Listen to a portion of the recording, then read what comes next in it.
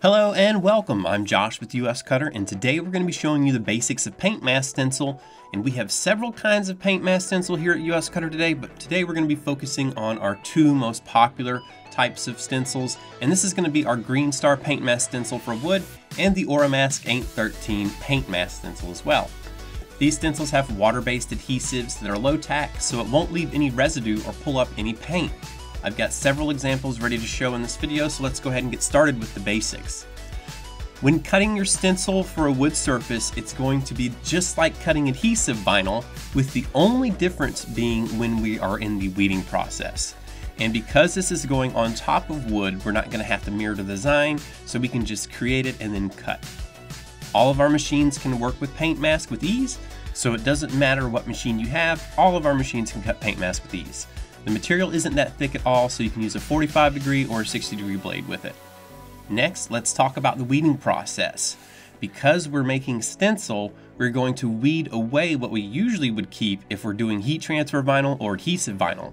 But weeding the 813 and the Green Star was a breeze. The material doesn't feel like normal sign vinyl or heat transfer vinyl, and because we're going to be working with paint, you want to make sure that you're as accurate as you can be with your weeding tool you don't want to create a hole or a tear that could let the paint leak through. Once you've completed the weeding process, you want to apply transfer tape over the top of the design. The material is low tack, so going with the medium tack or lower tack is going to be a good option. I'm using TransferRite medium tack here for this example, and you can see more information on the transfer tapes we have in another video that we've done in the past. Once the transfer tape has been applied, we can remove the transfers from the backer and then apply them to the wooden substrate.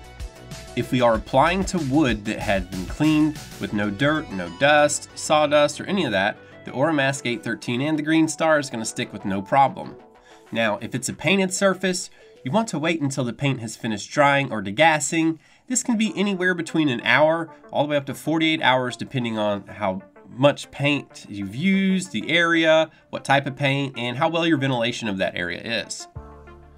Once we have the board nice and clean, I'm gonna lay down a single layer of paint and I am no Picasso. I just happen to like to go thrift shopping and I found a French easel for cheap and never got around to gifting it to the person I got it for, so it's mine now. You can also apply the mask directly to wood like I am in this example, but I only applied one layer of paint so it won't take long for this to dry with a box fan in front of it for an hour.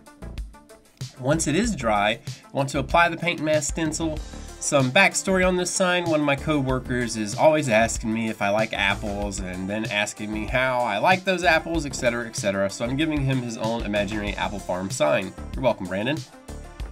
You really want to make sure that you squeegee the mask onto the surface of everything so that it transfers nice and easy and we can start the painting process. When you apply the paint, you want to make sure that you spread it evenly across the surface and don't leave too much on the paint mask stencil itself. If you do, the extra paint will dry and cause the mask to tear apart and break into smaller pieces when you're trying to remove it because of the extra paint on top of it. You also want to make sure that you have a weeding pick for this, that way you can get underneath the paint and actually pull the paint mask up. How about that beautiful sign? So I did this example on a sanded surface, so what if we didn't have a sanded surface? For example, when you apply the mask to a rough surface with some splinters coming up, if the surface isn't painted, the paint mask will stick pretty well to it. The issue is when you're removing the paint mask. Some of those splinters will raise and stick to the adhesive, causing this to happen. When I tried to apply the paint mask to the painted side of it, I had some issues trying to keep the paint mask actually stuck to the painted wood, but I was able to get it to transfer. I did have a few rips and tears, however, so the final result was pretty bad. And keep these things in mind if you're about to start a project.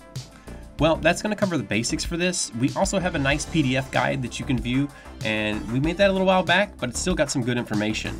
These two paint mask stencils are for wood, but we do have other paint mask stencils for other applications.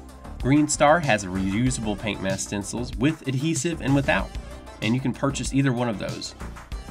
Oracal also has other paint mask stencils that they make, like the 810S for solvent-based paints, or the lower costing 811 for hand painted wood signs as well. Make sure you check out some of the other videos that we've made. And if you like the content, be sure to subscribe and hit the like button.